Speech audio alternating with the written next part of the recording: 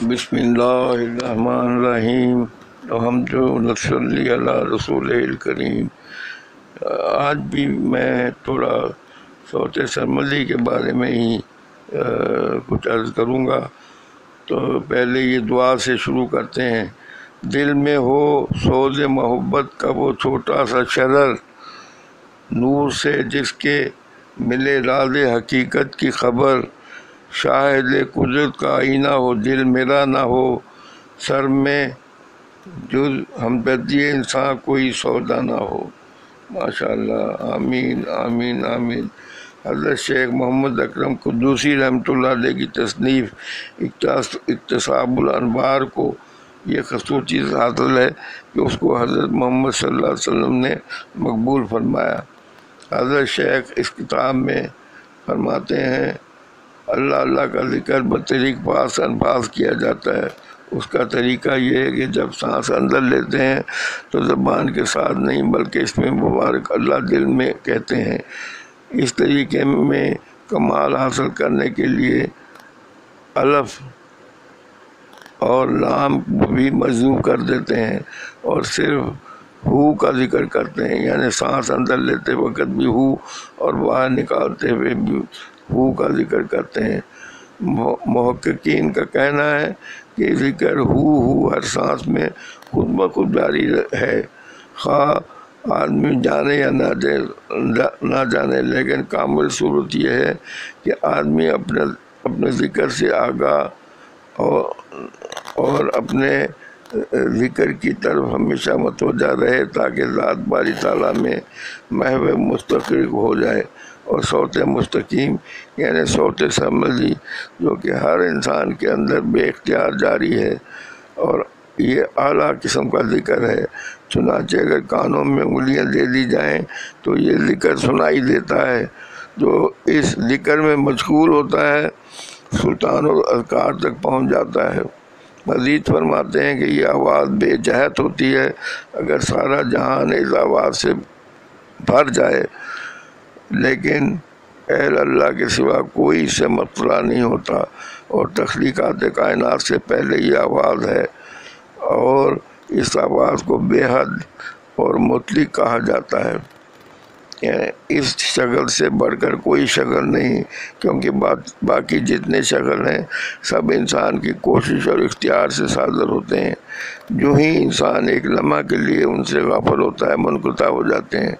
लेकिन ये ज़िक्र यह शक्ल बग़ैर इनकता के जारी रहता है। यानी ये इंसान चाहे भी तो इसको इसको जो है ये मुनकता नहीं कर सकता ये ज़िक्र को।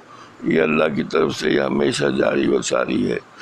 तो आ, मेरे साथ तो ये मामला है कि मैं जब चाहता हूँ तो मैं मतवजा होता हूँ इस ज़िक्र सौते सरमरी की तरफ़ तो मेरे कान में आवाज़ आने लगती है।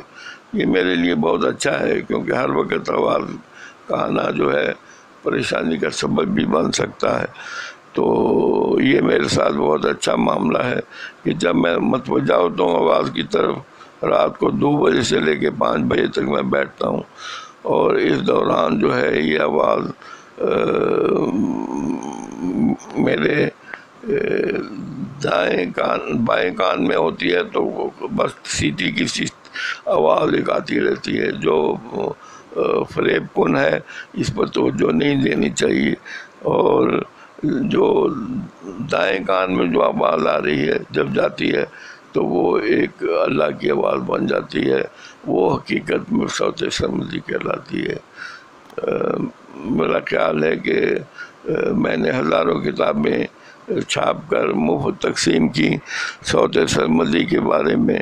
लेकिन पाक, इस पाकिस्तान में किसी ने इसकी तरफ़ मतवजा नहीं हुआ सिवाय चंद एक आदमियों के तो मैं हकीकत में बड़ा हैरान हूँ कि जो इबादत हजूर ने मेरा शरीफ से पहले की और अपने गार हिरा में आपने मांगे जर सुनी और आपने खुद फरमाया कि मुझे जब वही आती है तो वो एक किस्म की शहद के मक्खियों की भिन बनाहट में आती है। और तो ये फिर इसकी तरफ़ तोजो देना चाहिए। इसी मन में मैं समझता हूँ कि सूफिया कराम जो है ना, उन्होंने अपनी वो खानकाहें बनाई हुई थी, जहाँ पर ये अलहदगी होती थी और अपने लंगर चलते थे और ये सौते सरमदी जो है सुनी जाती थी और मुस्तफ़ हुआ जाता था। अल्लाह ताला हमें भी तोफीक दे और इस इन्हीं चंद अल्फाज पर मैं इसे ख़त्म करता हूँ। ऐसे छोटे छोटे क्लिप में आपको इस, इस क्लिप से मैं आपको सौते सरमदी और मार्फत के बारे में आगाह करता रहूँगा। ये मेरी ज़िंदगी का मिशन है। अल्हम्दुलिल्लाह। मेरी दुआ है कि आप सब सलामत रहें, खुश रहें और जब तक बंदा अल्लाह के अल्लाह के अल्लाह के साथ नहीं जुड़ता तो वो बिल्कुल उसका बेकार है क्योंकि फ़ानी चीज़ों में ज़िंदगी गुजारना जो है उसका कोई, वो फिर फ़ानी बन जाता है। लेकिन जब अल्लाह के, अल्लाह जो गैर फ़ानी है, उससे ताल्लुक़ जोड़ता है तो बंदा भी गैर फ़ानी हो जाता है। बाबे बुल्ले शाह ने क्या फरमाया कि गौर पिया कोई और तो ये बात हकीकत है, जब इंसान अल्लाह का हो जाता है तो अल्लाह ताला की जो ख़ास